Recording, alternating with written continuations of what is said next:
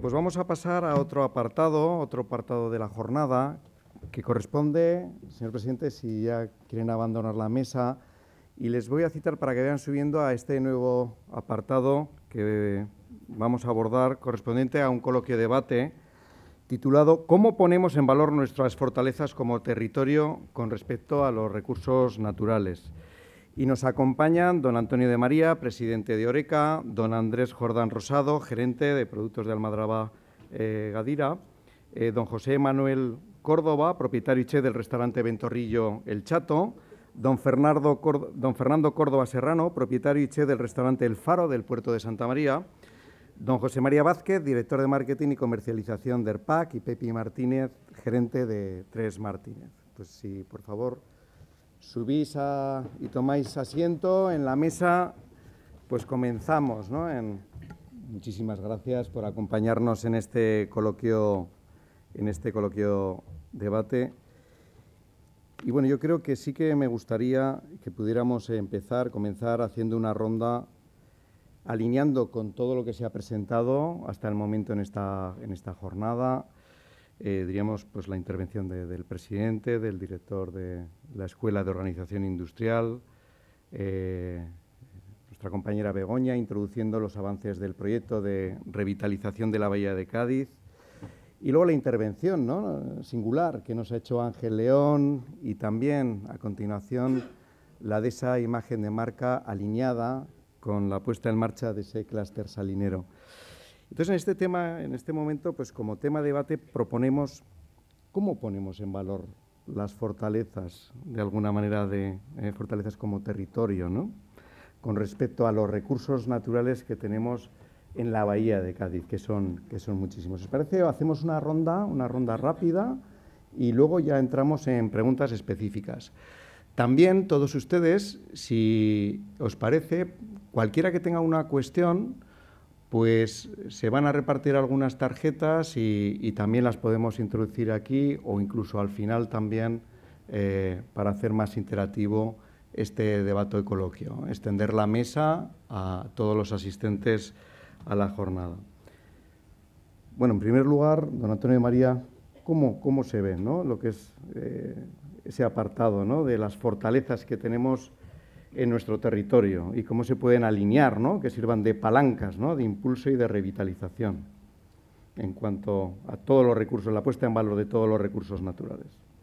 Bueno, yo diría que en principio las cosas están hechas. Llevamos muchísimos años haciendo en esta zona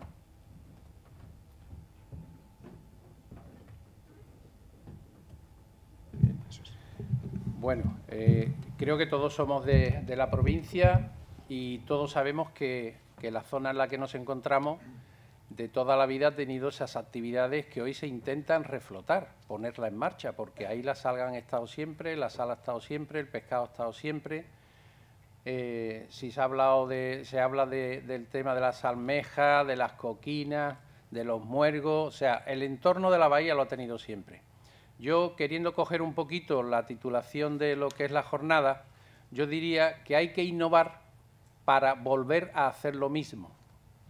Creo que sería lo importante que deberíamos de enfocar en todo esto, porque si no existiera nuestra salina, si no existiera todas esas posibilidades, seguro que ahora esta jornada sería para ver qué podíamos hacer en esta bahía que supusiera creación de puestos de trabajo y de riqueza. Y sin embargo, tenemos ahí las cosas hechas, pero se están cegando. Estáis viendo que los vasos de la salina se ciegan. Se está viendo que ya no hay esos despesques famosos donde llegaba a los mercados pues ese pescado de estero, que para mí tenía que ser la bandera de San Fernando. San Fernando en su tiempo fue eh, la ciudad del, del, pescado por excelencia. Si alguien hablaba de un pescadito, a San Fernando. Por supuesto, a Chiclana y al puerto de Santa María. ¿no? Ha sido un gran referente. Una buena convocatoria de un congreso, de un un evento especial, si no pasaba por un despesque, pues como que no tenía mucha categoría. ¿no? Las sales hoy, pues habéis visto que los franceses han puesto en valor la sal a unos precios impresionantes. Nosotros la hemos tenido aquí al lado y quizá por eso no le prestábamos la atención debida, porque estaba ahí. ¿no? Así que yo creo que ponerlo es únicamente tomar la decisión de entre todos empezar cada uno a aportar lo que al proyecto le hace falta. Nosotros desde la restauración estamos dispuestos a poner en nuestras cartas toda la venta de pescado de estero, todas las posibilidades de ofrecer esa, esa nueva imagen, que ya digo, es vieja, y habrá que buscar pues a los salineros, habrá que buscar a los pescaderos, habrá que buscar a la gente joven que ya las tenemos además, porque hay empresas que están ya trabajando en esas líneas, y entre todo ponernos en marcha. Yo creo que aquí eh, el hormigón se hace con cuatro elementos, arena, agua, cemento y, grava, cuatro elementos. Por separado ninguno es nada. Si falta alguno tampoco es nada. Pero los cuatro, los cuatro juntos hacen una de las cosas más duras que tenemos hoy mismo en la construcción. Muchas gracias.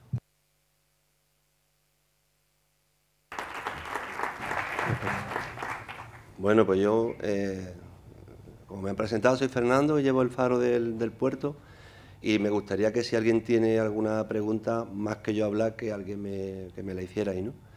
Mi experiencia, yo cada vez que alguien me ha traído algún producto de, aquí de la zona, pues, aunque en un principio me pudiera haber parecido que no me iba a servir, siempre pues he intentado eh, que me deje, que me lo deje, probarlo y en la mayoría de los casos, y de hecho conozco, tengo muchos amigos que me han agradecido ese apoyo desde un principio. En el caso de, los pescados de aquí, en el caso de, algas, si, si, bien es verdad que a veces lo que nos traen son productos que llamamos nosotros en la hostelería de quinta gama, y nosotros al ser un restaurante artesano, pues preferimos lo que es primera gama, que quiere decir, para que no, quien no lo entienda, es que a mí cuando me traen una salsa o una conserva, pues de alguna manera no me llama tanto la atención como cuando me traen, por ejemplo, pues, pues no sé, sal o, alga o alguna pasta de camarón.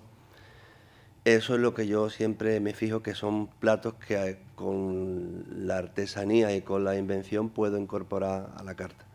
Lo que sí es verdad que a veces se echa de menos que mucha gente pues tiene un proyecto, tiene, pero después le falta la comercialización.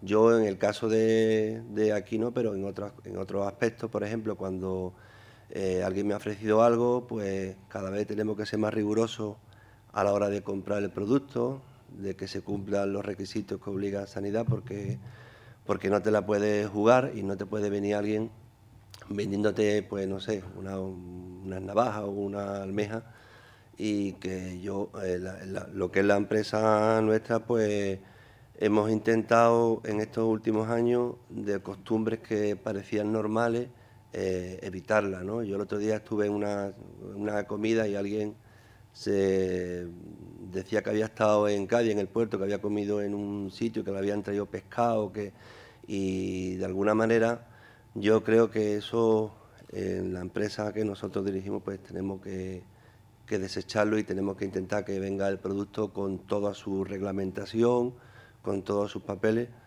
porque no te los voy a dar más. Si continuamos así, pues creo que será el futuro, porque mucha gente a hora de vender, pues pondría, en el caso de la marca de, Cádiz, pues pondría mucho más valor el producto y poco más puedo decir. Yo aplaudo y me encanta gente joven que tenga nuevas ideas, que porque desgraciadamente yo creo que la provincia esta de, Cádiz y en general mm, estamos pasando muchos años, veo un sentimiento de poca autoestima y yo creo que hace falta gente que empuje y que haga cosas nuevas y por la parte que me corresponda pues siempre intentaré pues apoyarlo. Y eso es todo.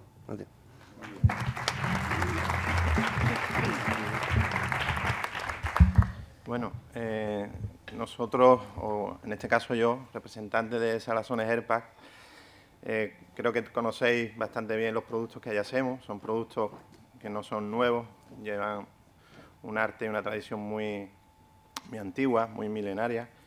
Entonces, eh, ¿cómo estamos nosotros ahora mismo o qué estamos haciendo para innovar y, y que la gente bueno, nos conozcan y tal? Pues precisamente lo que estamos haciendo es eh, comunicando y colaborando. Es decir, ahora es una empresa muy eh, tradicional, muy antigua, digamos, donde tiene unas raíces muy profundas y donde siempre el producto ha sido lo mismo, pues los que venimos por detrás ahora, digamos que estamos en, una versión 2.0, o sea, AirPack 2.0 en, en, cuestión de comunicar por redes sociales, eh, colaborar con empresas para hacer catas, por ejemplo, que se vayan conociendo los productos.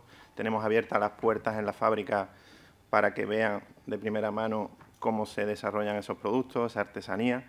Y es básicamente en lo que ahora mismo ERPA está, eh, está trabajando, ¿no? en dar a conocer sus productos, pero eh, sobre todo las manos de obra que hay detrás, el producto artesano que, que, sale. Antes has dicho lo de las conservas, que bueno, que sepas que aquí en Cádiz se hacen unas conservas muy, muy, muy artesanas, artesanas y lo que hacemos es precisamente eso, atraer ahora al público que vea realmente cómo se hace y que aprendan de un producto, bueno, todo el mundo sabe que la mojama es un producto, por ejemplo, que hacían ya fenicios, romanos y tal, pues cómo se hace. O sea, hay todavía gente en Cádiz que no sabe de dónde proviene la mojama. Pues en eso estamos, a través de redes sociales, eh, diseños nuevos de, de packaging, eh, diseños nuevos de páginas web, por ejemplo. Y eso es todo. Luego después, si queréis alguna pregunta, podemos profundizar en algo más.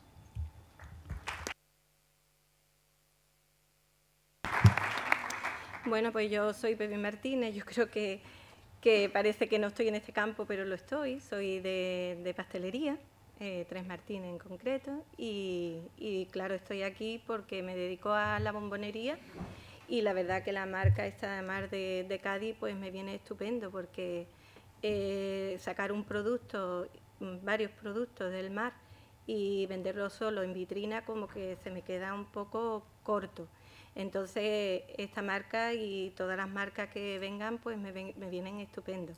Y trabajo todo lo que es las salazones de mi pueblo, que hay aquí dos fábricas de salazones, todas las salazones de mi pueblo transformadas en el chocolate, que es mi acción de trabajo. Y no solamente eso, sino que tengo estudios para sacar el garum, las algas, eh, tengo muchas cosas en perspectiva y la verdad que que me viene bien todo, todos los sellos de calidad, todo, porque eh, la, confitería se queda pequeña para estos artículos tan innovadores. Eh, la gente actúa más por los sabores más tradicionales y la verdad que tengo que hacer muchas catas, poner en valor mucho mi producto, hacer catas muy variadas para introducir en lo que es el tema de la pastelería, en concreto la bombonería, que tan expectante es y, aquí en la zona de Cádiz hay muy pocos que se dediquen a la bombonería, pues transformar todo lo que es los productos del mar en, en cosas de bombonería, yo creo que es mm, pura innovación. Y nada, ya si queréis alguna pregunta luego, pues aquí estamos.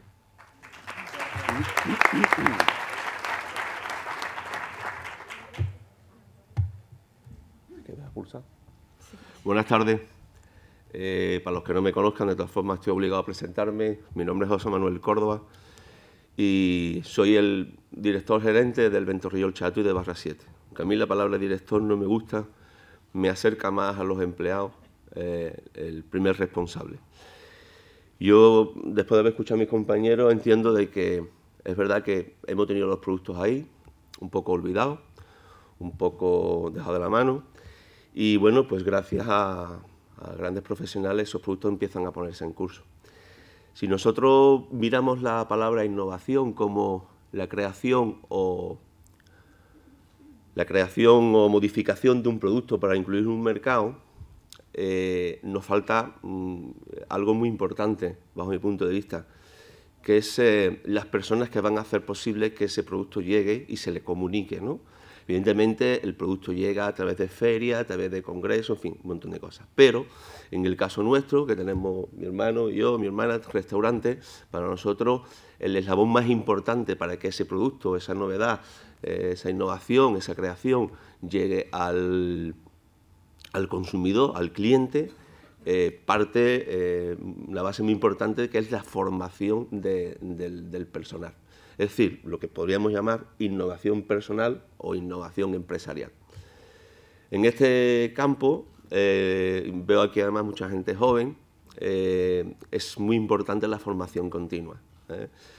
restaurantes con más de 50 años, donde eh, hay un relevo generacional, pues em, evidentemente una persona que lleva muchos años trabajando tiene una experiencia, los que entran nuevos vienen con otra serie de conocimientos, afortunadamente, pues los han adquirido en las escuelas, que hay buenas y numerosas en este país.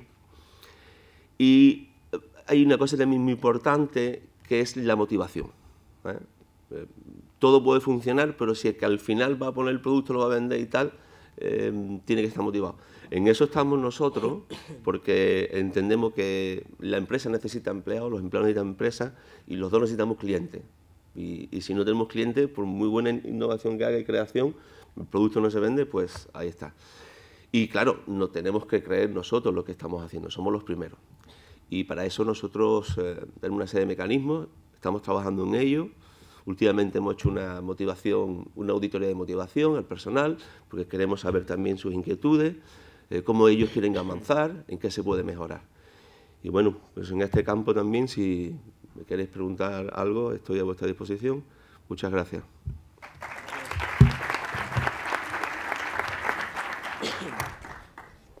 Bueno, mi nombre es Andrés Jordán, soy gerente de productos de Almadraba, que comercializamos la marca Gadira.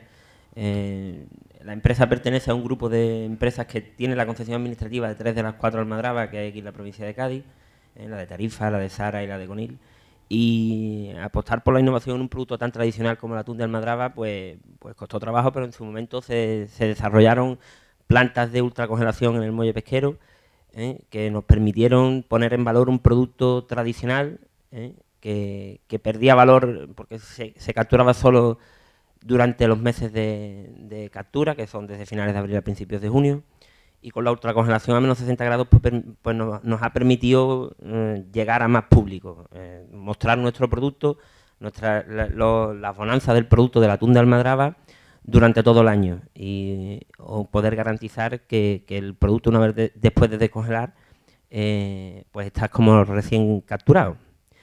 Entendemos que, iniciativas como la creación de una marca Mar de Cádiz pues, pues nos puede facilitar a todos los empresarios pues eh, eh, dar a conocer, poner, mm, unirnos para poner en valor eh, las bonanzas de todos los productos que tenemos en la zona, la sal, el atún, en fin, la cantidad de variedad de productos que tenemos en el mar y en la tierra, con una voz única, que creo que hasta ahora es lo que, lo que nos faltaba, unirnos para crear, en este caso, la marca Mar de Cádiz y si se crea definitivamente el clúster, creo que nos puede hacer llegar a más público y darnos a conocer y poner en valor los recursos naturales que tenemos.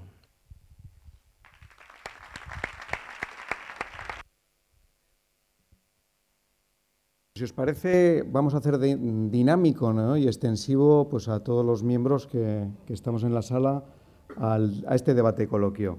Si os parece, pues también vamos pasando el micrófono, más que igual rellenar tarjetas, y vamos combinando preguntas. Por favor, pues ¿Eh?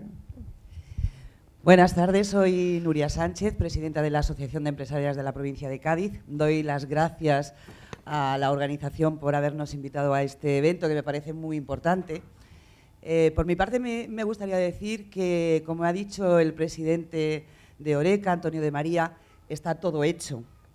Eh, los recursos están ahí, los conocemos desde la antigüedad, eh, tenemos recetas tradicionales que han sido exitosas en el mundo entero, eh, pero yo creo que esta jornada debería de servir para que entre todos profundicemos qué es lo que está pasando. Si está todo ahí, ¿por qué no lo hemos puesto en valor?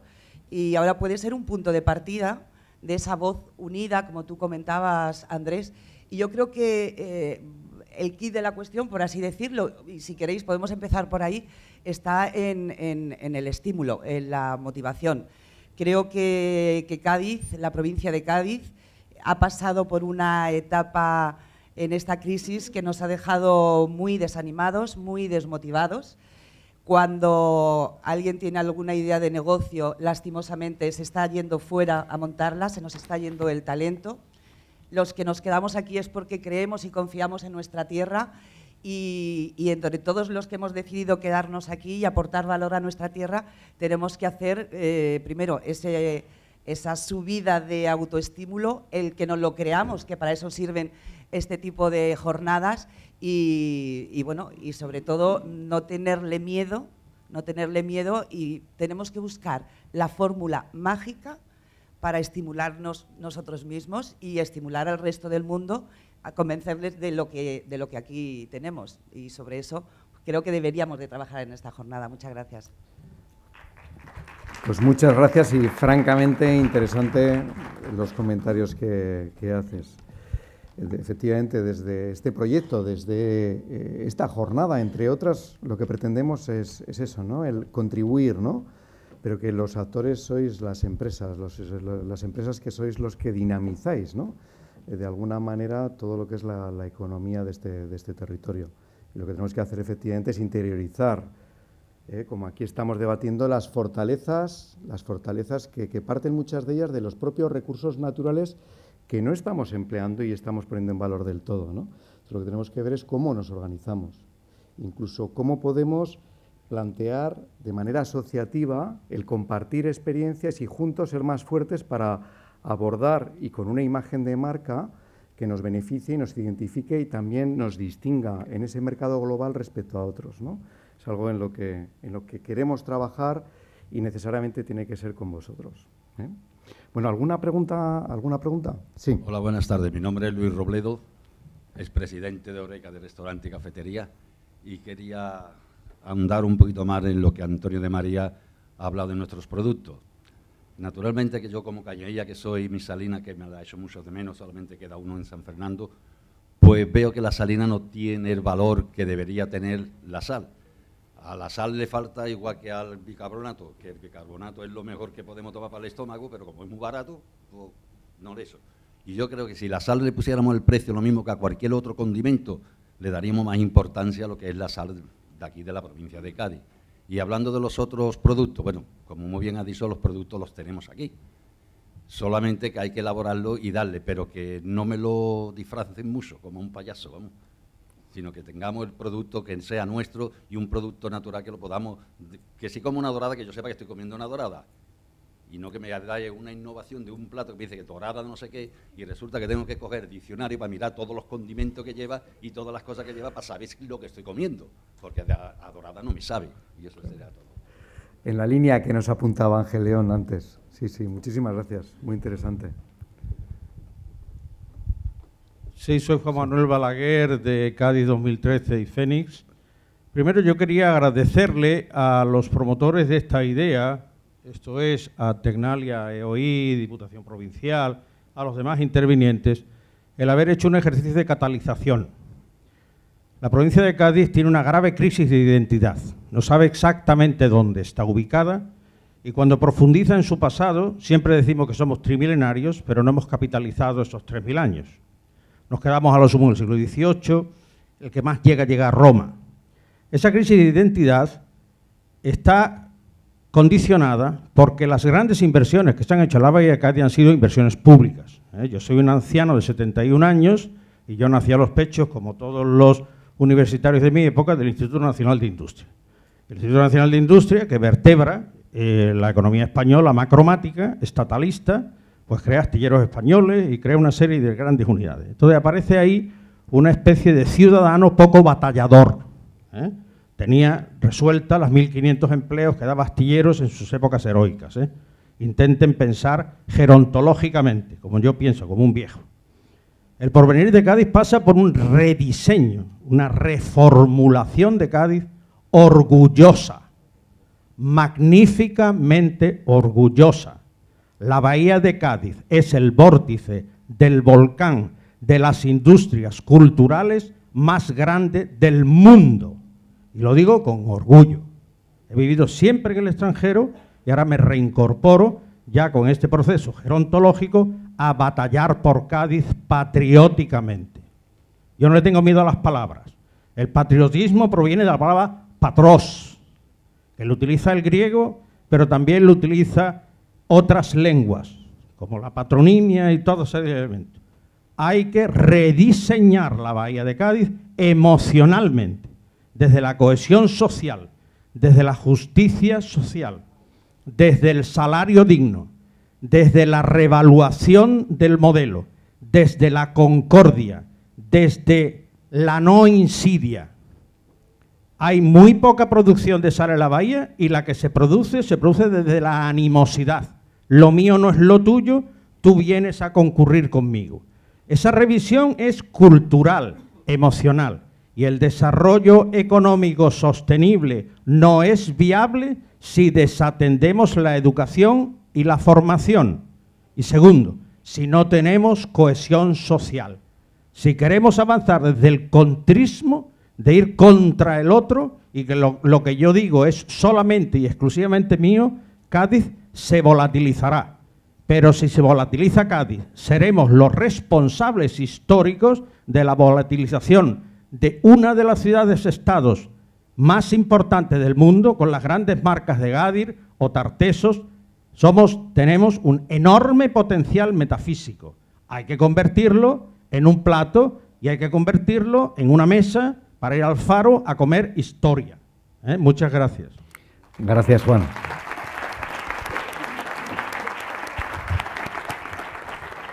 Sí, Rosa, por favor.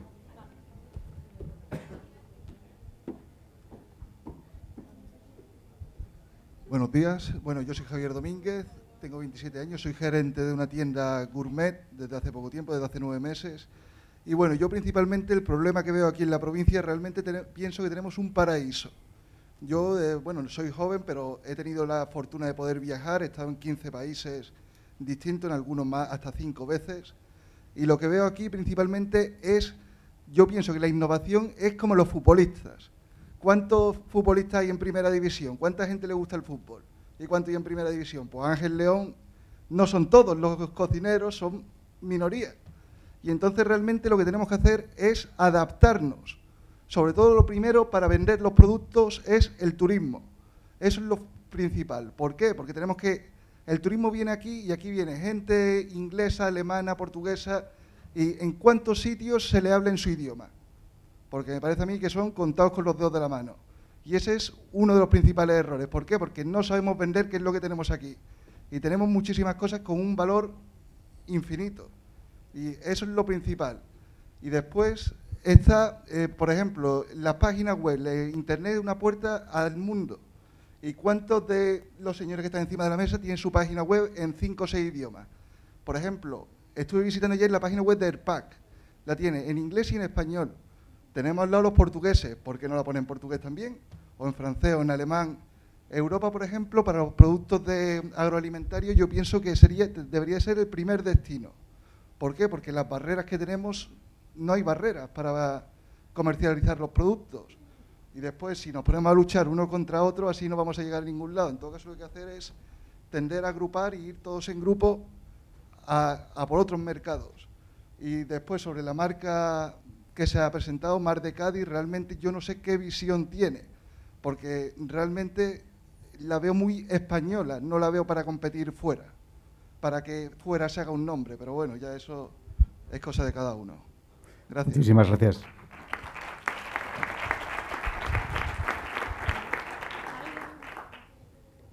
¿Sí, alguna cuestión? ¿Alguna cuestión adicional? Sí, por aquí Rosa, por... Una, cosita, yo quería intervenir un momentito.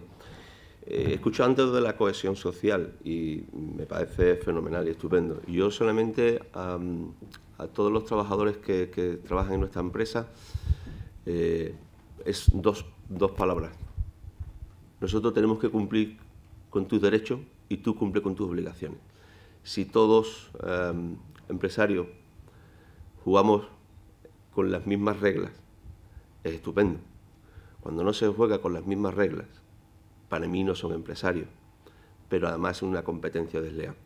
Entonces ya vienen los líos. Y entonces ya entramos en que realmente el volcán explotará, porque las condiciones laborales serán cada vez más precarias.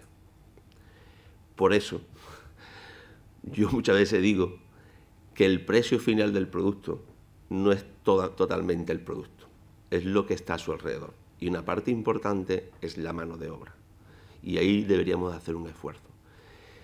Es verdad que nos peleamos, te contesto Ignacio, ¿cómo te llamas tú, perdona? El chi, tú. Ah, Javier, perdona. Eh, es verdad que deberíamos de tener una interrelación y trabajar en conjunto, en equipo, es verdad.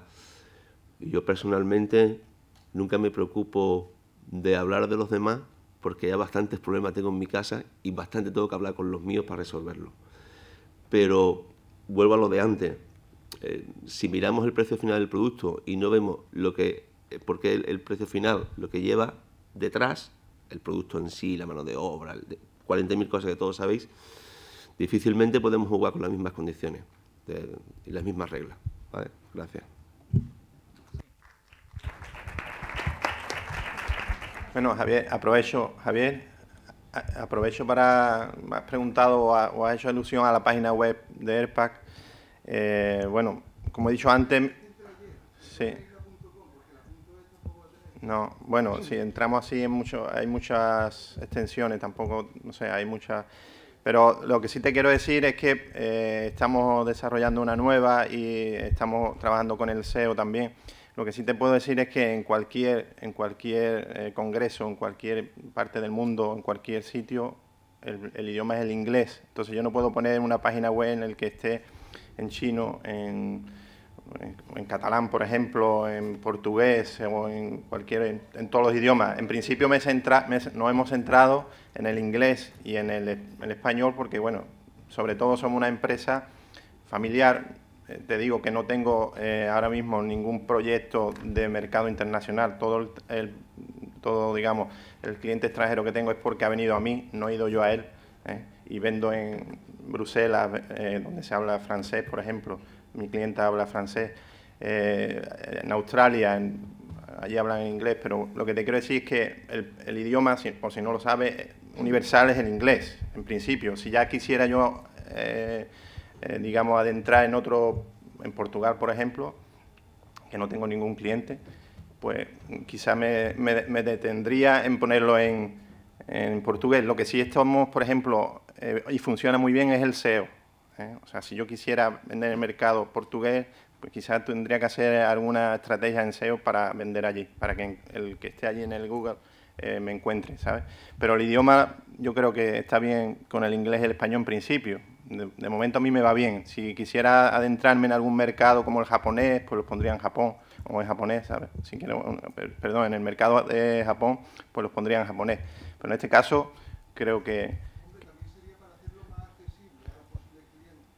Sí, pero haces... Pero realmente el que tenga un negocio... ¿Tú hablas inglés o sabes, entiendes?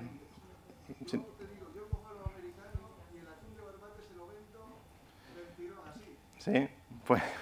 Pues pásate por allí, por, por Barbate. ¿eh? Excuse me, I speak English too. I speak English in the restaurant. And it's, it's fantastic.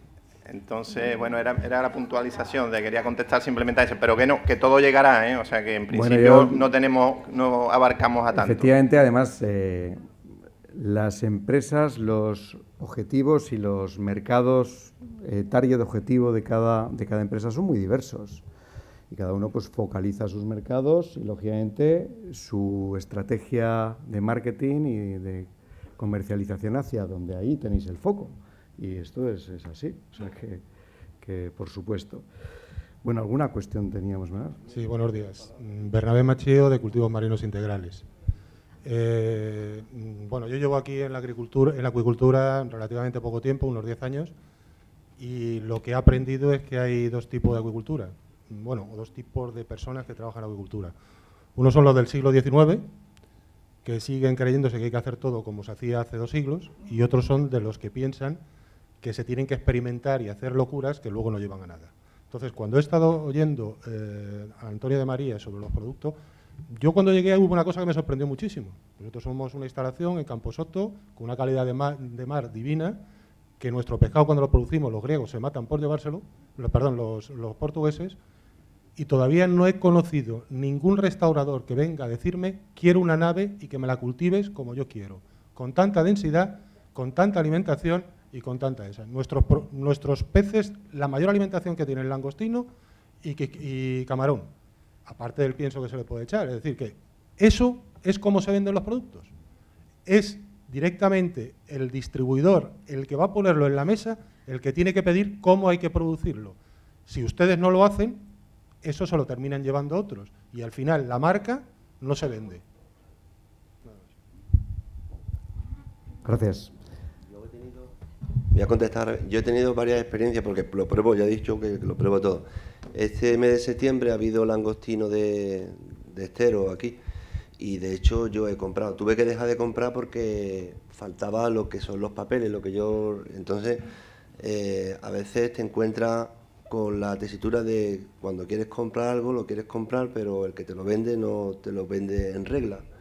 Ah, claro, pero incluso a veces, no digo en el caso suyo porque seguramente lo tendrá, pero sí ocurre que cada eh, entendemos que fomentar e intentar de aquí a unos años acabar con esa economía sumergida. Yo sé que muchísima gente lo está pasando mal, se tiene que buscar la vida, pero yo ya prefiero siempre que cuando compre algo, pues comprarlo empaquetadito. Y además yo creo que hace muchos años, bueno, no estabas tú, pero cuando se compraba los atunes y yo viajaba y decía, joder, ¿por qué no pueden vender el atún empaquetado y congelado a menos 60? Y, y yo llevo ya muchos años, por ejemplo, consumiendo una marca porque me lo sirve como yo lo creo. Y tendrán que mejorar, pero que el futuro está ahí. Y el día de mañana que a mí alguien...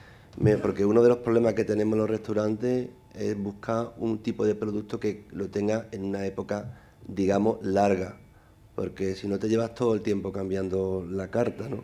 Un día entra un pez limón y no entra el pez limón hasta adentro.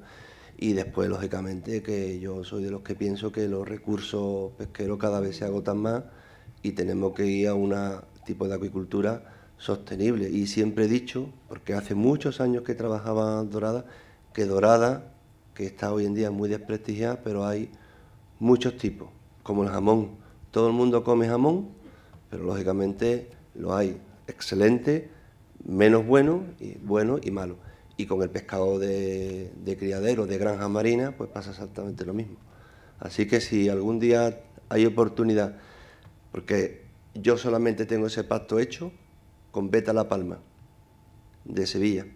Y le he comprado durante todo el verano. Llego a un acuerdo y le compro durante un tiempo. Y desgraciadamente, por ejemplo, el año pasado me dejó tirado, pero no porque ellos me quisieran dejar tirado, porque estamos hablando de un producto pues como la seta, como que, o el hay y no llueve y deja de, haberla. Pero yo creo que mm, esta mañana ha estado Ángel, es un amigo mío, hemos trabajado juntos mucho tiempo, y a veces las locuras no salen, pero lo que no se puede es que cuando uno tenga una locura, que, todo el mundo que esté alrededor tuya te la intente, por así decirlo, quitarte las ganas, ¿no? Hay que ser atrevido y el, mucho adelanto de esta vida ha sido precisamente por locos, ¿no? O porque se pensaba que eran locos y después no lo eran tanto. Muchas gracias. Bueno, ese tipo de locura empresarial es lo que hoy en día se llama emprendimiento. ¿Eh? Mira, empecé diciendo que estamos todos, lo que no estamos interconectados. Por ejemplo, en 10 años que llevas aquí no hemos hablado nunca. Yo digo que las carreteras tienen dos direcciones, una para ir y otra para venir. Nosotros en Oreca hemos abierto siempre los brazos a todos, y si es de la provincia más todavía. Por eso, esta jornada, porque se ha dicho antes, lo ha dicho Nuria y demás, deberíamos, deberíamos, no, es que este es el sentido de esta jornada. O sea, Diputación lo que ha hecho es, a raíz de unos estudios que ya había hecho el equipo de, de Juan Manuel, ha hecho suya una parte de esa potencialidad que tenemos aquí porque existe y que está abandonada y que se está yendo y que se caen los molinos de marea y que se está cayendo todo y que la alcaldesa de Cádiz dice que va a demandar al Estado es que, bueno, hagamos algo los de aquí, ¿no? Entonces, ¿qué es lo menos que podemos hacer? Lo que estamos haciendo. Ha habido una, una potenciación por parte de OI económica para que esto se pudiera permitir. Tenemos ahora mismo ayudando a desarrollar todo este tema, quizá a, la fundación más importante en investigación que hay en, España, que es Ternalia. Airbu, que está ahí al lado, está trabajando con unos robots que diseñan y construyen ellos, tienen tecnología en estos momentos punta eh, el presidente Obama mm, marcó unas líneas de trabajo donde está también esa fundación trabajando. Es decir, estamos ahora mismo en las manos de los mejores diseñadores y no decir ya por lo de la marca. También tenemos a unos profesionales muy cualificados que están poniendo los primeros mimbres. Vamos a hacer canasto. Por eso he dicho yo, vamos a partir de ahora a cogernos un poquito a la vez. Lo acaba de decir Fernando Si yo no tengo un producto habitual en tiempo y en forma, yo no puedo arriesgarme a ponerlo la carta porque luego va a llegar un cliente y va a decir, me pone que el otro día me comí, usted es que hoy no lo tengo. Ay, eso sienta fatal, eso sienta fatal, ¿no? Nosotros lo que pensamos es que si estructuramos un acuerdo inicial donde entre todos los que tenemos algo que decir empezamos a ponernos de acuerdo, lentamente iremos trabajando. Y seguro que esto coge una velocidad de crucero. Porque en su época, sin hacer tanta tecnología y nada, funcionaba, funcionaba. Yo me acuerdo de ir a la plaza y ver al chato que te ponía allí el pescado de despesque que venía y aquello era una maravilla, ¿no? Yo en mi restaurante ha habido clientes que cuando me ha preguntado, ¿la dorada es salvaje o es de estero? Y le he dicho, no, es cultivada. Ah, no, no, yo no la quiero. Digo, no, vamos a hacer una cosa, yo se la voy a poner, usted la prueba. Si no le gusta, yo se la retiro y le ponemos otra cosa. Y después le he dicho otra cosa, que a lo mejor es una barbaridad, pero le he dicho, digo, mire usted, para mí el pescado salvaje en teoría tiene que ser menos rico que el que una persona ha estado mimando, porque nada más que hay que irse al cochino el cochino, si no le damos bellota, si no le damos lo que necesitan, su dehesa, si no lo preparamos, no es lo mismo que un cochino suelto en el monte que come el pobre lo que encuentra.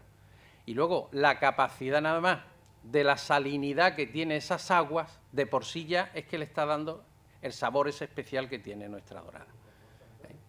Eso por supuesto, eso por supuesto también. Correcto, correcto. Por eso, si tenemos unos productos que son en estos momentos especiales, que lo valoran más en el exterior que en el propio interior, ¿eh? porque yo me acuerdo en Italia cuando aquí no se podía producir pescado, no podíamos comprar pescado porque se lo llevaban para Italia y encima lo pagaban más, a 1.800 pesetas me acuerdo hasta del precio. ¿eh? O sea, mm, hay otro problema, por ejemplo, camarones. Hay una empresa que se llama eh, Precocinados Molinero, que está en Puerto Real, que en estos momentos está haciendo toda la manufactura a mano. Son cocineros, tiene 27 cocineros, hace las tortitas camarones de una en una. Y hablando con él, digo, ¿por qué no? Dice Antonio, no hay camarones. Yo podía coger y montarme a vender esto, vamos, en el mundo entero. Dice, pero no tengo camarones. Bueno, ¿por qué estamos esperando? Vamos a cultivar camarones, ¿no? Que además, ¿dónde se cultiva? Pues precisamente en los espacios que tenemos. ¿eh? Pero vamos, que estamos a disposición y cuando quiera nos sentamos y a cualquiera de los que estéis aquí y con Fernando a la cabeza o con Alex o con Rosa, con quien haga falta, hacemos unos petit comités, empezamos a reunirnos, cogemos el ayuntamiento, le decimos usted empiece a orientar ¿eh? y, los demás pues que cada uno saquemos lo que podamos sacar de ellos. ¿eh? Bueno, los robos y los pajaritos que vienen y se comen el producto. Sí. Y con eso hago la trazabilidad. Sí. Si un señor vende 25 cajas, no puede haber 200 en el mercado. Yo creo que se lo llevan fuera, ¿eh? porque no me consta, no me consta que aquí nadie compre en primer lugar porque está prohibido. Es decir, nosotros para comprar un pescado tiene que pasar por loja, lo ha dicho Fernando. Hoy día la trazabilidad de nuestros establecimientos, las facturas que hay que aportar, y el sentido común nos dice que lo que no se puede estar vendiendo es, pues, por ejemplo, coquinas o almejas que me traen que no pasa por la depuradora. Es que yo no voy a arriesgar a mis clientes. ¿Por qué motivo? ¿Por ahorrarme cuatro euros? No merece la pena porque a veces es más caro lo que te quieren vender por aquello de que es natural que, otra cosa. ¿no? Pero bueno, esos son los flecos que nos vamos a encontrar en el día a día. Yo creo que aquí hay que hablar de las estructuras, porque teniendo las estructuras, los flecos luego los vamos a eliminar. ¿eh? Gracias, Antonio. Creo que había también alguna petición de intervención. Sí, sí eh, muy buenas. Soy Oscar Sánchez, eh, de Biofood Innova, Biscotaki. Realmente me parece una muy buena idea todo este tipo de, eventos. Yo me dedico a la alimentación, pero alimentación de mascotas. Eh, por lo tanto, lo que estoy viendo lo veo desde fuera, ¿no? Y me parece que muchas veces es también importante que te digan cómo te ven antes que sacar tú tus propias conclusiones desde el interior. Yo quisiera lanzar dos ideas. La primera, em, esto de clúster, quitarle el nombre de clúster y decir trabajo colaborativo o de cooperación, porque la era de los clústeres, de, de incentivar que haya clúster, estamos viendo que no ha dado muy buen resultado, ¿no? Entonces yo creo que el punto de inicio es creernos que realmente necesitamos esta cooperación entre los distintos agentes del mismo sector. Si no, no lo creemos, cuando se vayan los señores de Ternalia, cuando se vaya la EOI, vamos a seguir mirando para abajo y haciendo cada uno la guerra por, por nuestro sitio. Entonces yo creo que primero tendríamos que creernos que lo necesitamos. Y lo segundo que, me gustaría decir es que eh, se habla mucho de la fortaleza de nuestro clima, de lo buena que es la salinidad, perfecto. Sí, las fortalezas yo creo que las tenemos todo claro.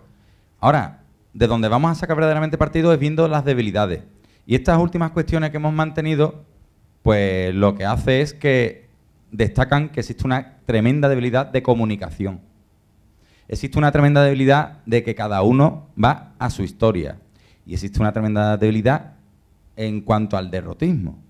Entonces yo creo que quizás se saque más partido viendo en qué flaqueamos y construyendo a partir de ahí, antes que creyéndonos que seguimos siendo buenos. Efectivamente, somos buenos en unas cosas, pero somos muy malos en otras. ¿no? Y yo quería lanzar esas dos visiones nada más. Muchas gracias. Pues muchas gracias. Bueno, yo creo que el concepto o la terminología es lo de menos, ¿no? Es decir, el concepto de clúster portiano pues es, algo, una manera de denominar, pero lo importante es denominar eh, una iniciativa, y esa iniciativa que es fundamentalmente, como comentabas, cooperativa, es decir, de, fomentar eh, el ir juntos y, además interiorizar que yendo juntos somos más fuertes que, que yendo por separado, ¿no? Y además eh, eso nos permite establecer líneas de comunicación que, también permiten aclarar ¿no? y resolver muchos de los problemas que a lo mejor pueden quedar ahí y que eh, generan, son generadores de barreras. ¿no?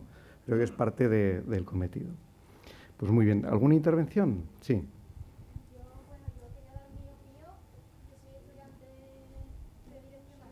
Espera, que te pasan el micro y así te escucharemos todos mejor. Sí volviendo a retomar la idea del principio de la ponencia, yo creo que el problema que tenemos en la provincia es que nosotros mismos no sabemos vender nuestro producto, porque nos hemos acostumbrado a eso, a Cádiz, la luz, la gente, la, amabilidad entre nosotros, pero hemos dejado de lado un poco la formación, porque detrás de una barra o de una cocina cualquiera puede estar en una plancha haciendo cualquier cosa. Y desde aquí quería aprovechar la oportunidad, que estamos en un escaparate empresarial ahora mismo, que nos habéis invitado, para deciros que, por ejemplo, en nuestra escuela la media de edad no supera los 30 años, que somos personas jóvenes, que nos estamos formando y que tenemos muchas ganas de empujar para adelante, poner cada día en lo más alto y innovar en la cocina y en, todos los campos, vamos. Pues muy bien, creo que es muy oportuno. Creo que es, creo que es muy oportuno y efectivamente yo creo que se ha comentado anteriormente, la formación son uno de los pilares fundamentales y desde el cual se puede seguir construyendo, ¿no? ¿Eh? Con toda esa dinámica, esas iniciativas, ese emprendimiento, ¿no? E, esa cooperación y esa puesta en valor de todo el potencial que tenemos en, Cádiz. Sí. ¿Cuál es la escuela? ¿El qué? ¿La escuela cuál es? Perfecto. Sí. sí. Hola, buenas tardes. Sí. Eh, mi nombre es Manuel Jiménez Pardavila, el gerente de la empresa Acuicultura Levante y Agua. Eh, me gustaría un poco recoger el guante en función de lo que, que estabais hablando. Una empresa, mi empresa tiene constituidas dos semanas. Tengo una trayectoria en el sector y, eh, de manera profesional larga y me interesa todo lo que hemos hablado en el aspecto de temas bombones, algas, eh, productos, camarones. Afortunadamente, pues acabamos de coger una, superficie de cultivo de 200 hectáreas, da mucho juego. Pues nada, eh, recogiendo lo dicho, el guante de lo que había hablado, a ver si nos vemos ahora en el lunch, en el brunch este, y, nos, y hablamos para poder empezar a trabajar sobre el tema. Pues muchas gracias y efectivamente forma parte también ¿eh? de lo Así es. En relación a lo que estabas comentando de los esteros, eh, creo que es fundamental entender que mm, tú no puedes definir un producto para cada mercado, tú no puedes tener un producto, una dorada que le gusta a todo el mundo. Lo claro, hay que tener claro qué tipo de producto se produce y ofrecerlo al mercado. Es que es muy difícil gustar a todo el mundo.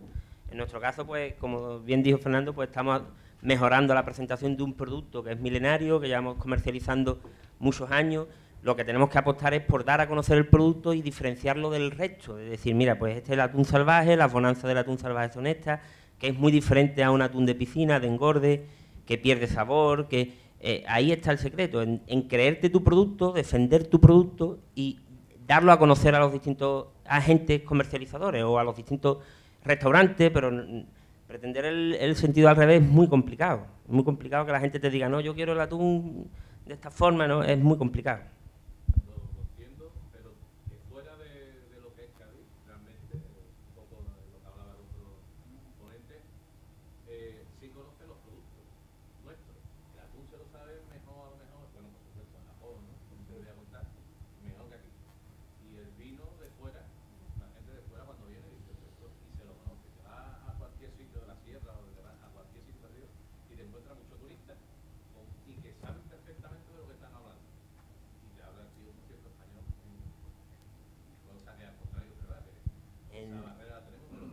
En nuestro caso no, no es así, la gente no conoce muy bien lo que es una almadraba, cada vez hay más noticias que salen la almadraba, la captura, pero la gente no sabe diferenciar muy bien lo que es, lo que es un atún salvaje de almadraba de lo que es el atún rojo de piscifactoría. Y hay muchos restaurantes o mucha eh, gente que aquí con el tema de, la ilegalidad, pues, pues atún salvaje de almadraba. Y, dame, dame, dame el micro. Hombre, yo he vivido experiencias de verdad a nivel profesional me han humillado. Y lo digo tal como lo explico. O sea, cuando yo sé lo que vale un, kilo de atún de almadraba y él lo sabe perfectamente. Y yo soy un pejiguera para atún, sobre todo para el plato estrella que yo tengo, pues yo lo considero que es así, es el tartar. Yo cuando veo una carta tartar de atún, almadraba, y me lo presentan, digo, joder, pues así sí que no avanzamos. Así no avanzamos. Porque, claro, eh, al final lo que estamos haciendo es destruir esa marca. No sé si conscientemente o inconscientemente. Porque no es lo mismo. Que no tiene absolutamente nada que ver. Entonces, si no partimos de la base que tenemos que ser tremendamente respetuosos y responsables con el producto que vamos a trabajar, flaco favor estamos haciendo a los productos de aquí de la zona. Vamos. y esto lo he vivido yo y me imagino que más de la mitad de los que estamos aquí. ¿eh? Así que lo primero que hay que apelar es una responsabilidad eh, personal, ¿no? Y bueno, pues eh, por ahí, por ahí se empieza. Aquí, aquí hay gente que han hecho marca, ¿eh? Yo ahora me venía en mente un poco la marca Pancracio, que es una marca que se ha consolidado como algo de, Cádiz y muchas caras no lo recuerdo. Y gente peleando en lo positivo, como el amigo Pepe Monforte con su página web defendiendo los productos de Cádiz. O sea que hay que salir, hay que ir a vender y cuando tú sales y vas a feria y te mueves, que no te puedes quedar solamente pensando que va a venir la gente a comprarte. Y no lo digo por nadie en particular. Viví una experiencia yo me gusta mucho el rábano picante natural. Me, me, encanta incorporar los platos. Y yo he estado hace dos años, estuve en Austria, yo no hablo alemán, en inglés más o menos me, me defiendo. Y a esta empresa le he contestado de veces, le he mandado correo. Al final ya he conseguido darle mi número de banco para comprarle. En vez de un palé me han vendido 56 botes de medio kilo porque... Pero que eso lo he conseguido yo porque casualmente en una feria vi el producto, me gustó y digo, esto es mucho mejor que el que yo gasto, que es una mayonesa de rábano picante. Y digo esto porque hay gente que es cierto que te la encuentra en, feria y que, te da mucha alegría, pues que dice tú, estos se están partiendo la cara porque están invirtiendo en fomentar un producto que, que es de aquí. Y desde ese punto de vista yo creo que hay que dejarse ya de pensar que si los italianos, que y decir, porque ese sentimiento llevo yo muchos años escuchando y no nos lleva a nada, sino hay que tirar hacia adelante y lo que dice Javier, pues es verdad, a lo mejor hay que plantearse en muchas empresas pues traducir la página en tres o cuatro idiomas y, y a veces pues para ganar hay que, hay que invertir y, y lógicamente repartir. Eso es todo. Gracias. Una última cuestión, creo por aquí, sí. Hola, buenas tardes. Eh, soy Juan José Mierterán, eh, director del Departamento de Marketing de la UCA, y he tenido la oportunidad de participar en las fases iniciales en este proyecto.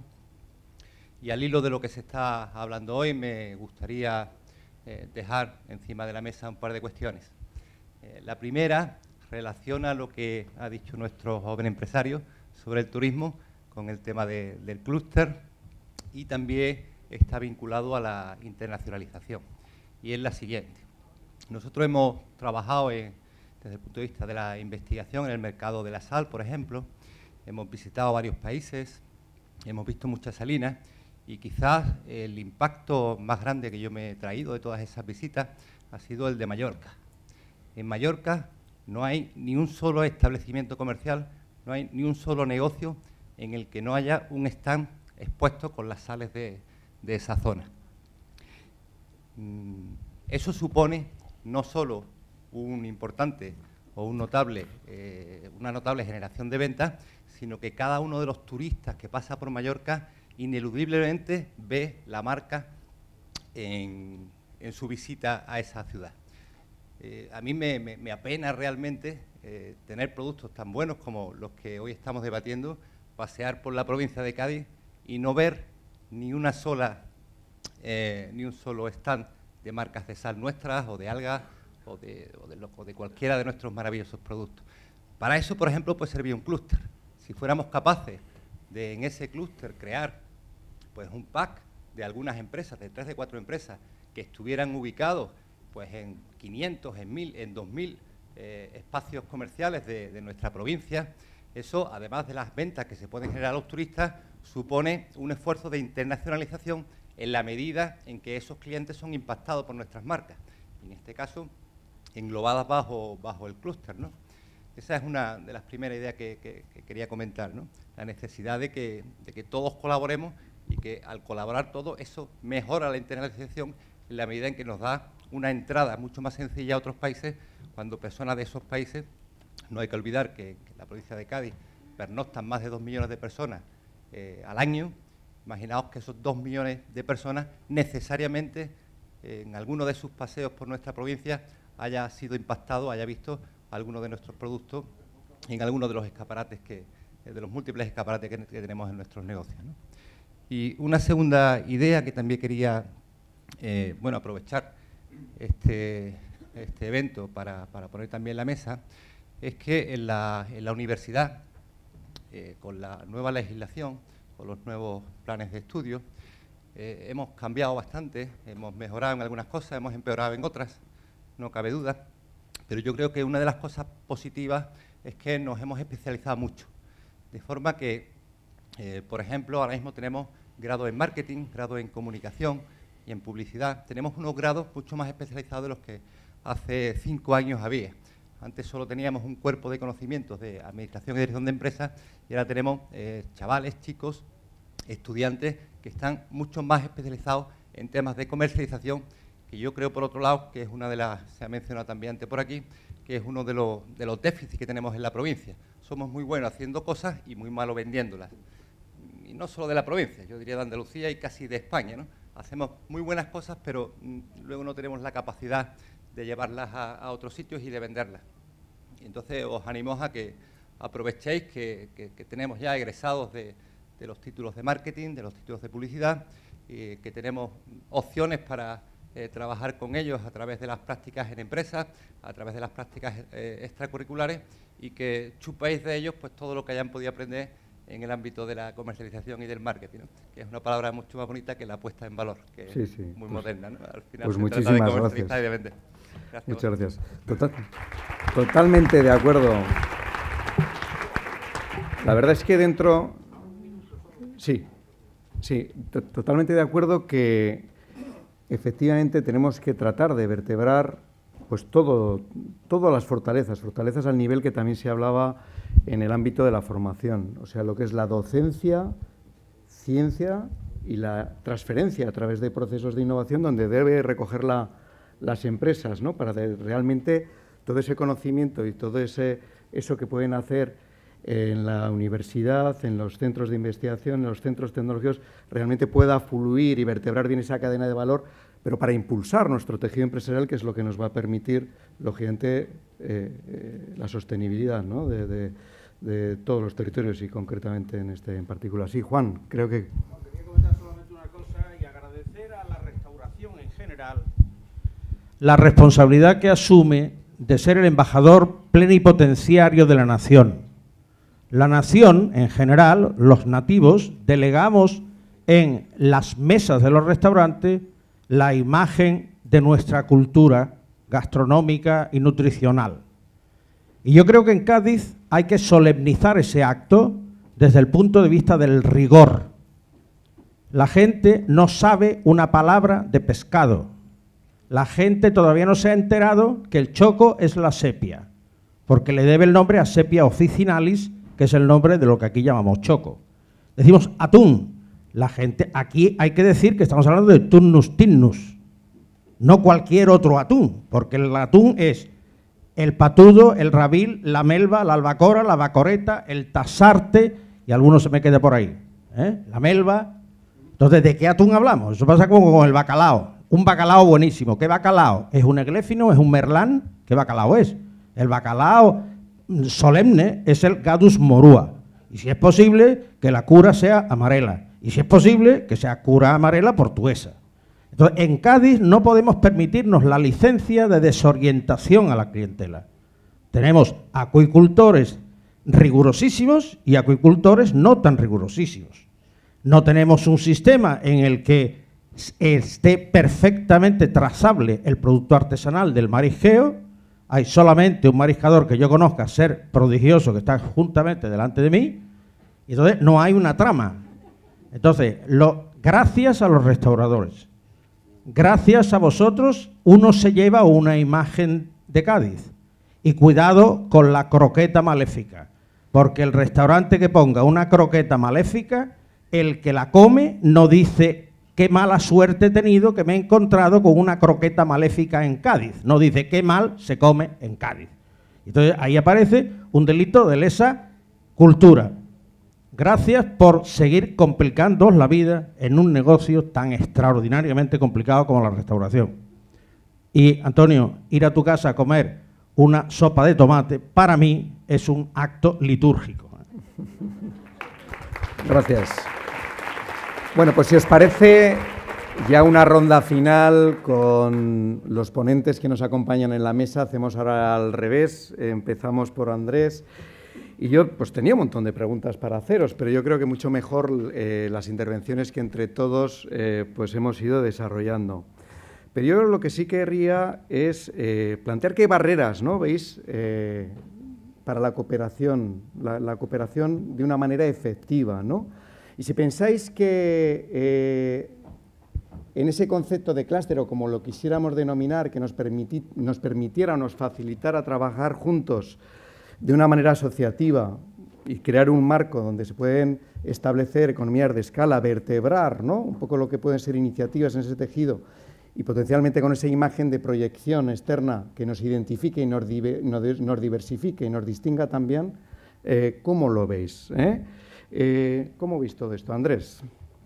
Para mí es fundamental perder el miedo a asociarse, a colaborar con otras empresas para conseguir un objetivo común. Cada empresa tiene su identidad, es única. Eh, eh, tú defiendes tu, verdad, tu producto, tu forma de hacer. Lo que hay que perder el miedo es a comunicarlo de forma conjunta. Es decir, tenemos unos valores en la provincia de Cádiz que son comunes, que nos pueden unir. Pues vamos a potenciar esos valores y después dentro de, la unión, pues cada uno defender su historia y contar eh, qué diferencia el, producto que ofrece del resto, cómo, cómo elabora cada uno, qué con qué mismo se trata la materia prima para obtener tal producto y, lo que hay que perder es el miedo a, la colaboración. Gracias.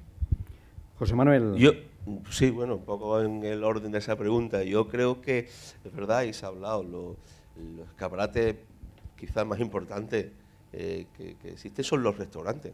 Son escaparates magníficos, ¿no?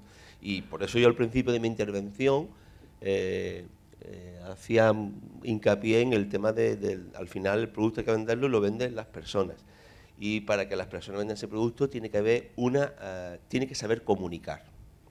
Y para saber comunicar, aparte de saber expresarse, uno tiene que saber lo que está vendiendo.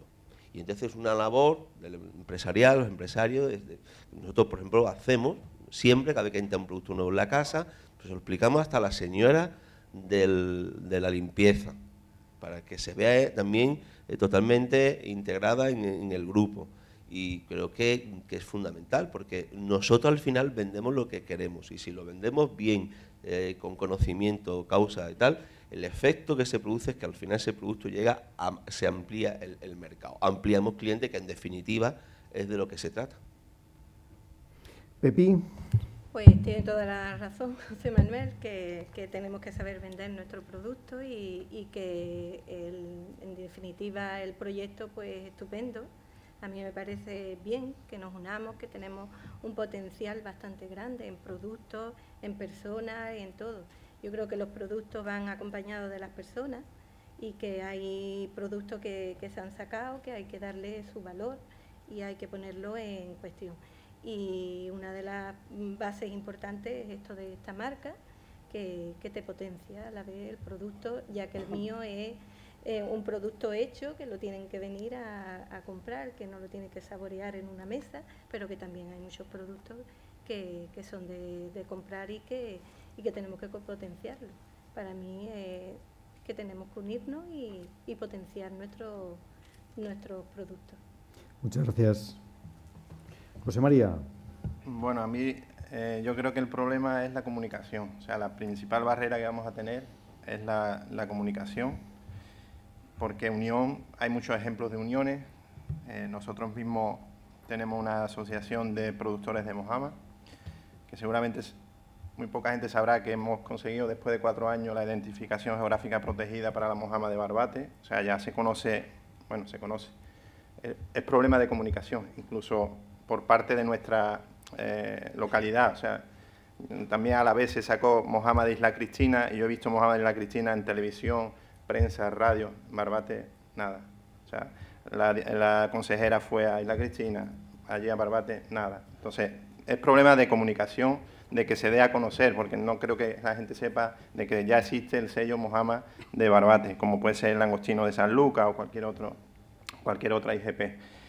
Y, la verdad es que yo lo que sí tengo miedo es un poco de miedo al, al final, o sea, ¿dónde vamos a llegar? Esto me parece una idea impresionante, lo de Mar de Cádiz, pero como digo, estamos en otras asociaciones, como puede ser, por ejemplo, la ruta, eh, seguramente habréis escuchado ruta artesanal del atún o ruta tal que ha sacado la Junta, que ha sacado no sé quién, hay muchas rutas, en todas estamos, pero no hay nada concreto, o sea, nunca se termina. Entonces, como apuntaban por ahí, cuando no esté Tesnalia, cuando no esté, ¿qué va a pasar? Entonces, es un poco eh, el miedo que tengo yo personalmente a que después no lleguemos a, algo. O sea, está muy bonito, está todo muy bien, por supuesto hay que colaborar. Nosotros colaboramos, como he dicho antes, para nosotros es la comunicación, bien por las redes o, bien colaborando con otras empresas, pero la difusión es el problema.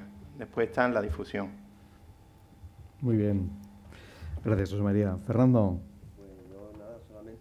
Lo que he estado hablando toda la mañana de fomentar el, el positivismo, la legalidad de hacer las cosas y luchar por la calidad, porque al menos es el sector en el que yo me muevo. Y esas son todas las tres bases que quería un poquito transmitir en, esta intervención. Gracias. Muchas gracias. ¿Y Antonio? Bueno, yo por mi parte creo que para que Tecnalia tome nota, que haga un censo de oferta y demanda, porque muchas veces el problema que tenemos es que yo no sé lo que existe en el mercado, porque si lo conozco lo compro porque me viene muy bien. Por ejemplo, ya que estamos con la publicidad gratuita, yo le compro a ERPA los mejillones ¿Por qué? Porque yo antes los compraba en la plaza y tenía que tirar el 75%. Y encima había días que te venía el mejillón muy chico, que al cocerlo se encogía, que no sé cuánto. Bueno, pues yo compro de él que viene con una calidad, con, vamos, y además la tengo continuamente, no, no hay problema de ningún tipo. Y los clientes, magníficos, porque a veces se considera, ¿quién se come una lisa de Artamás salvaje? Aquí en Cádiz nadie.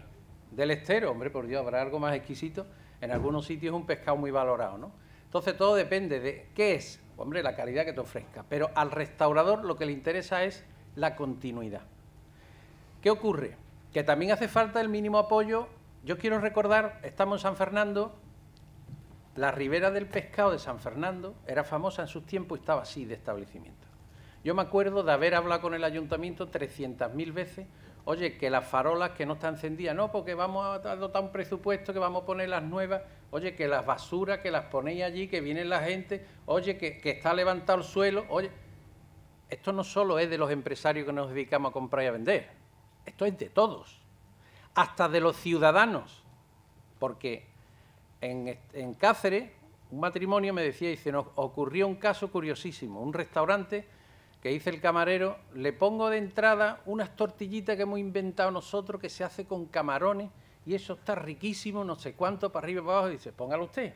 Y la puso y dice, está muy buena, está casi como las de Cádiz. Oh, ¿son ustedes de Cádiz? No diga usted nada, que aquí todo el mundo piensa que es nuestro.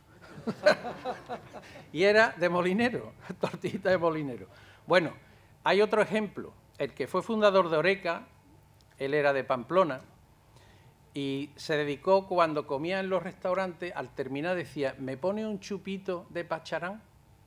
Y decíamos, ¿y eso qué es? ¿Pacharán? Hombre, por Dios, no me digas que no sabe lo que es Pacharán. Ya te picaba, ya cogía el proveedor. Oye, eso de Pacharán, que a los seis meses había Pacharán por todos lados, porque ya yo lo tenía y ya que lo tenía lo ofrecía. Y el que lo probaba le gustaba. Y cuando llegaba otro compañero decía, oye, ¿tú no tienes de esto? Al final, un restaurador le piden una cosa hoy, no la tengo, se la piden mañana, no la tiene, al otro día ya la tiene. ¿Por qué? Porque estamos para vender y estamos para dar satisfacción y servicio a los clientes. Y quiero también contar una anécdota. En esta provincia muchas veces lo que nos falta es el apoyo de las infraestructuras de producción, de generación. Estamos totalmente desatendidos muchas veces por las administraciones centrales. Y me viene a la memoria que hoy hay una serie de empresas que han nacido, han nacido al calor o al amparo del túnel de ultracongelación. Pero ¿cómo se instala el túnel de ultracongelación? Pues gracias a que se puso el cable de tarifa. Y dirán ustedes, bueno, ¿y qué tiene que ver una cosa con otra? Pues muy sencillo. Como aquí nos negamos a que se pusiera el cable de alta tensión, al final nos complementaron económicamente y la cofradía de pescadores, pues dentro de la partida económica que se le daba, porque ahí lo, de la pesca del Borá decía que iba a afectar mucho a la producción y tal, bueno, pues mire usted, le damos un dinero Ah, pues, pues, queremos hacer túnel de, de congelación. Y ahora que estáis vosotras dos empresas aquí, yo llevo, y lo hablé con Nicolás, el presidente de, el grupo, le dije, digo, oye, ¿por qué no congeláis, ultracongeláis los boquerones y las sardinas? Porque claro, antes se ha dicho aquí, la producción que teníamos antes del atún se la llevaban los japoneses, ¿por qué? Porque aquí no éramos capaces de darle abasto. Hacíamos mojama para conservarla y tal, pero la mayoría se la llevaba. Hoy los japoneses no se llevan el atún que se llevaban antes. Y si quieren llevar atún, lo tienen que pagar. ¿eh? Y otra anécdota también de Ciro, que hace tres años, cuando vinieron los 50 cocineros, porque se ha dicho aquí que el atún se conoce mucho por ahí, había mucha gente que no había probado en su vida el atún tal cual, como se ha dicho, tal cual el atún. Y se quedaron con los ojos así. Y hoy el atún está en muchísimas cartas de toda España gracias al túnel de ultracongelación de Barbate. O sea que a veces también decimos, ¿cómo podemos? ¿Cómo podemos? Hombre, más hace el que quiere que el que puede. Si nosotros estamos dispuestos a hacerlo, vamos a empezar a llamar a todas las puertas. Pero con la frase que yo siempre utilizo, oiga, demasiado ayuda el que no estorba. Porque luego cuando queramos poner en valor esa salina, empezaremos que si medio ambiente, que si no sé cuánto, que si permiso, que si papeles, tráigame usted, lléveme usted, y empezamos ya y al final dice uno, Maldita la hora en que yo me metí en esto, pero como ya está aquí, pues ya no te puedes echar atrás y al final dar a luz una empresa es peor que dar luz a siete mellizos. ¿eh? Así que yo creo que esto tiene que ser un proyecto de todos. Y ya como se dice siempre y lo decimos nosotros mismos, que si es que somos como somos, que si nos ven como nos ven, no. Gaditano es un ser humano y como tal ser humano tiene la capacidad de decidir por sí mismo lo que quiere hacer. Y yo digo siempre lo mismo, los trenes, si no hay locomotora, no es un tren, son muchos vagones. Ahora, una locomotora con un, con un vagón ya para mí es un tren. Tenemos la locomotora, que es nuestra voluntad, por lo menos, de decir, señores, queremos, pero no nos vayamos a casa otra vez y se ha quedado que hemos estado aquí reunidos, que hemos estado hablando, que hemos salido con, eh, con la moral muy alta, pero mañana ni nos acordamos lo que hemos hecho. Por ahí, como tenemos a los que están de alguna manera induciendo todo este tema para que no se quede solo eh, en algo muy bonito, pues empecemos a aprovechar y sentemos también a los que van a tomar decisiones, a los políticos, ¿eh? y hagamos también, de alguna manera, un censo de posibilidades de locales, porque, por ejemplo, yo sé que hay muchos locales que están cerrados, que están abandonados, los propietarios no, lo alquilan, no, no, ingresan dinero, y que eso se puede poner en ese censo a exposición pues, de gente nueva, hay gente de las escuelas que salen, ¿Por qué tenéis que salir de una escuela pensando en colocaros de cocinero, de camarero? No, no. Empresario, empresario, uno de ustedes puede colocar a tres o cuatro. Y esa es la mejor muestra de solidaridad que puede hacer un gaditano para sus conciudadanos. Pensemos en el proyecto empresarial, en el autoempleo, que es el que genera luego empleo a los demás. Y aprovechar, pues esos locales que están vacíos, que se pueden coger baratos, que están cerrados, que no hay que hacer traspaso y no hay que hacer traspaso. Animaros, lo dijo Nuria antes, perdamos el miedo. Y si necesitáis apoyo y ayuda, a contar con Oreca y contar con la Cámara de Comercio, donde yo tengo cargos representativos y ponemos a vuestra disposición todas las infraestructuras, tanto de producción económica, porque a veces dice, bueno, ¿cómo hago? A veces hacer las cosas no cuesta dinero. ¿eh? Muchas veces, si nos diéramos cuenta cómo se pueden hacer, el dinero es lo de menos. ¿eh? Mm, el que quiera... Sí, pero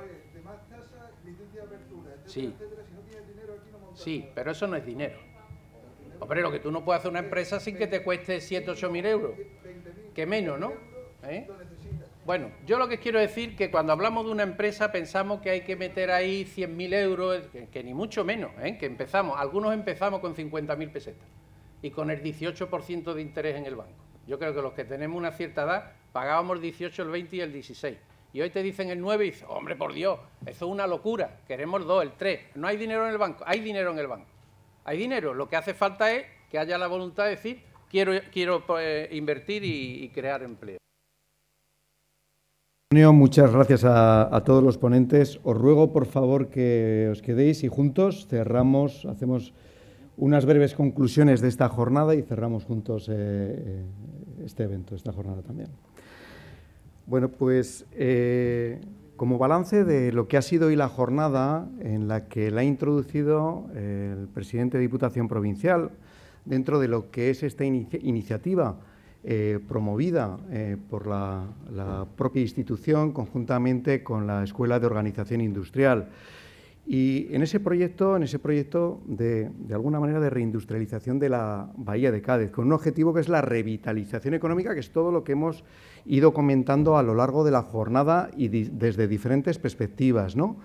estableciendo pues, todas aquellas palancas que nos puedan ayudar, lógicamente, a, a bueno, a sobre todas las fortalezas, construir y poner en marcha una dinámica en la que nos permita, pues lógicamente, eh, vertebrar y llevar a buen término ese proyecto de revitalización, donde efectivamente tenemos unos recursos naturales, unos recursos marítimos importantes, ¿no? y que a partir de ahí, identificando todas las oportunidades eh, y enlazando y creando sinergias entre unas iniciativas y otras, pues lógicamente nos permita poner en valor y dinamizar ¿no? toda, esta, eh, toda esta iniciativa o toda esta serie de iniciativas empresariales que se quieren llevar a cabo.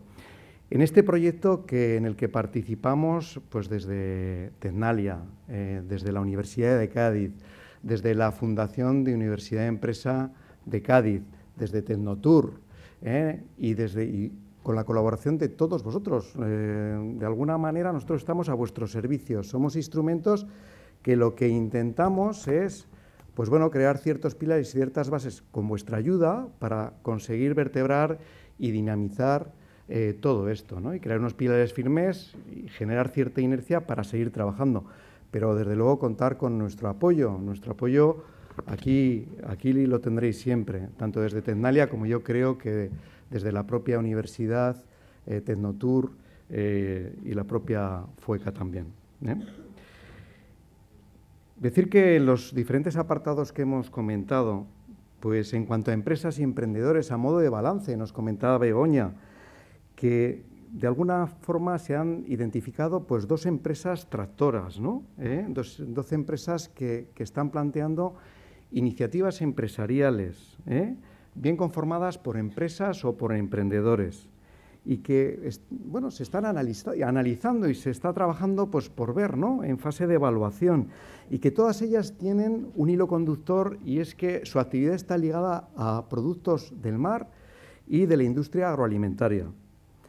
Las empresas y los emprendedores, pues lógicamente, pues eh, estáis construyendo, ¿no? desde el punto de vista de vuestra propuesta de valor empresarial, y cómo acometer desde ese análisis técnico y competitivo, poder acometer eh, un mercado con garantías. ¿no?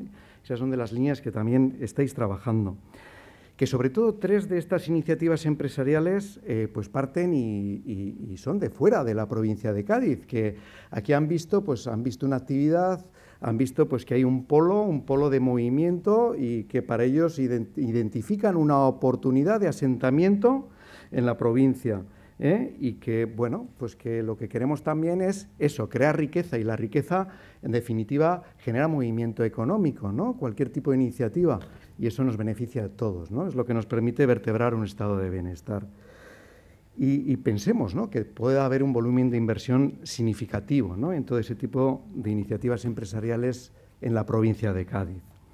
Por otro lado, ¿no? en lo que venimos comentando en diferentes apartados, esa necesidad de trabajar juntos, esa necesidad de, eh, de alguna manera, de comunicarnos más, de poder complementarnos, ¿no? de, que en esa cadena de valor que en ocasiones uno forma parte de un eslabón y le falta a lo mejor eslabones aguas arriba o aguas abajo y que juntos de alguna manera se pueda crear esa cadena más fuerte y competitiva incluso en mercados, ¿por qué no internacionales?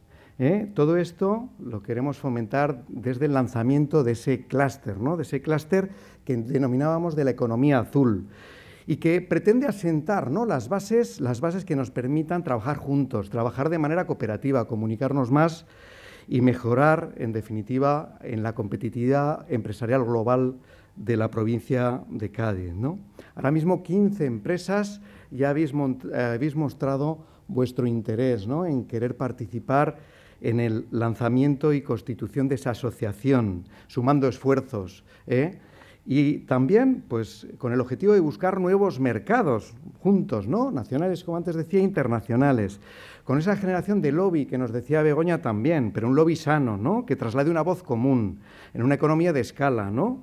Y que, lógicamente, ponga eh, o permita eh, acometer la problemática del sector y buscar intereses comunes que nos pongan de acuerdo, ¿no? Y que nos beneficien a todos. ¿eh? Incluso que pueda haber propuestas a todos los agentes eh, políticos y sociales de, toda, de toda la provincia.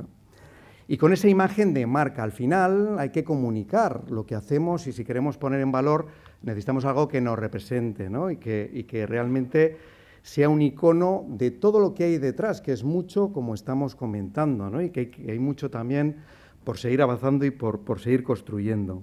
Y hay cadigrafía, Ignacio González nos ha presentado esa propuesta, esa propuesta de imagen de marca que con esa explicación, Ignacio, que nos has dado, pues refleja, pues bueno, todo esto ¿no? que, queremos fomentar en, ese, eh, en esa imagen, en ese icono de mar de Cádiz, eh, con esa mezcla de formas y de colores que identifican ese encuentro de mares eh, que, caracteriza, lógicamente, con toda la riqueza natural que recogen eh, ambos mares, Mediterráneo Atlántico, a la provincia, a la provincia de, Cádiz.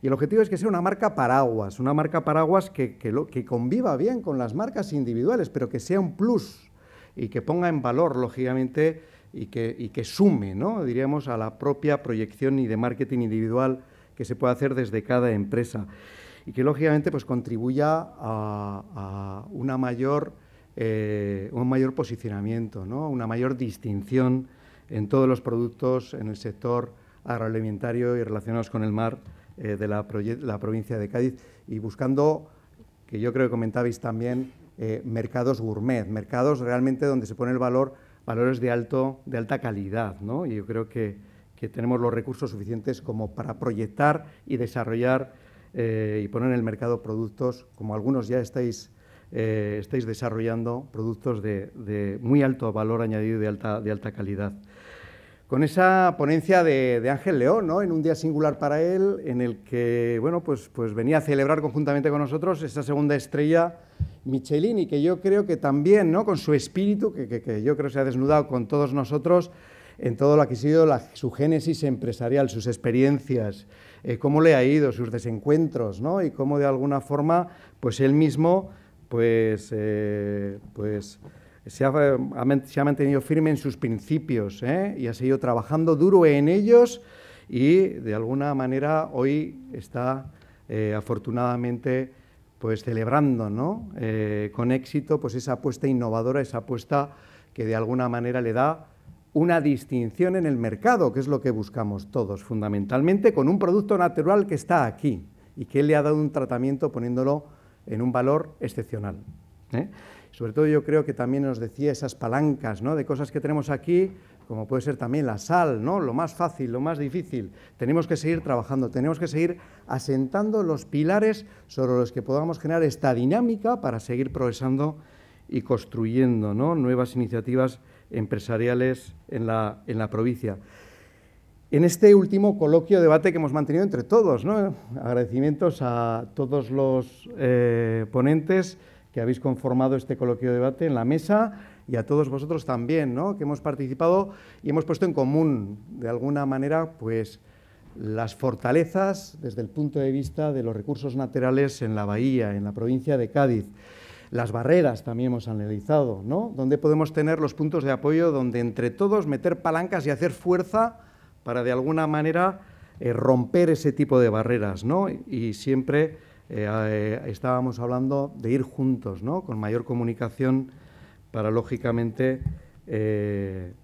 pues ser capaces ¿no? de, poner todos esos, recursos naturales en valor con esos apartados de formación, que seamos capaces de triangular y vertebrar el sistema de ciencia y tecnología que hay en la provincia de Cádiz, con, la Universidad de Cádiz a la cabeza, con los diferentes centros de investigación, centros tecnológicos, escuelas de formación en diferentes ámbitos, ¿no? en el que esa docencia, esa formación, lo que puede ser la ciencia, el conocimiento, la investigación, en procesos de innovación hacia una transferencia empresarial, vertebrar lo que se denomina en Europa ese triángulo mágico del conocimiento. Es algo que tenemos que construir, que tenemos que vertebrar. Tenemos todos los agentes. Lo que tenemos que hacer es lanzarlos, vertebrarlos, ¿eh? ponerlos en contacto. ¿eh? Y, poco más. Y esto yo creo es lo que ha sido, pues hoy yo creo que también haciendo balance, espero que esta jornada y compartiendo mm, de alguna forma los avances en los diferentes apartados del proyecto, Espero que sea un, elemento catalizador para siguientes acciones que queremos acometer, como son, lógicamente, ese lanzamiento del clúster, analizar y dentro de ese, de clúster y con todos vosotros que estéis interesados en participar, el decidir cómo afrontar esa imagen de marca en esa propuesta que Cadigrafía nos hacía, ¿no? Seguir dando pasos, seguir con esas iniciativas empresariales fomentando y buscando todos los apoyos que sean necesarios, bien desde el punto de vista de apoyo económico, de fondos de inversión o desde el punto de vista de, apartados de investigación e innovación. ¿eh? Pues es algo que también tenemos que seguir trabajando, tenemos que seguir dinamizando. Y ya para finalizar, pues agradecimientos, pues lógicamente, en primer lugar, a Diputación Provincial, al Ayuntamiento de, San Fernando, en definitiva, en ambos dos casos, a José Laiza, presidente y alcalde, presidente de Diputación Provincial y alcalde eh, de esta fantástica ciudad, por acogernos eh, en un sitio tan singular como es este Palacio de Congresos a la EOI, lógicamente, como promotor, ¿no? como organismo intermedio que es capaz de vertebrar estos fondos que nos vienen de Europa hacia acciones concretas que realmente produzcan el desarrollo regional, desarrollo territorial, que es lo que estamos tratando de llevar a buen término con esta iniciativa. Ángel León, ¿no? agradecimientos también por deleitarnos, hemos pasado un rato bueno y también la verdad es que nos ha generado un apetito excepcional ¿no? con esas delicatessen innovadoras culinarias que él, que él desarrolla. Y repito, a, todos los miembros de esta mesa, a todos vosotros, también a los compañeros de, viaje en el que estamos juntos tratando de vertebrar esta iniciativa, pues la propia Universidad de Cádiz, Tecnotour, eh, la Fundación Universidad Empresa de Cádiz, eh, Cadigrafía y otros colaboradores en los que venimos trabajando y tratando de llevar a buen término este proyecto y a todos vosotros, asistentes a la jornada y fundamentalmente protagonistas, pues para que esto realmente pueda llevar a buen término. Simplemente, ya termino, eh, vamos a la salida, por favor, salís, tenemos un catering a continuación, nos va a permitir seguir hablando en ámbito distendido, también forma parte ¿no? de, crear canales de comunicación. Sí que os pediría que nos hicierais el favor de rellenar una encuesta ¿eh? y eso nos va a seguir ayudando a hacer las cosas mucho mejor y que vamos a tener muchas de estas intervenciones y otros temas en YouTube, que también podréis consultar ¿eh? en el proyecto de reindustrialización de Bahía de Cádiz. ¿eh? Y nada, a vuestra disposición, os tenéis siempre a vuestro lado pues para todo aquello que consideréis. Muchísimas gracias.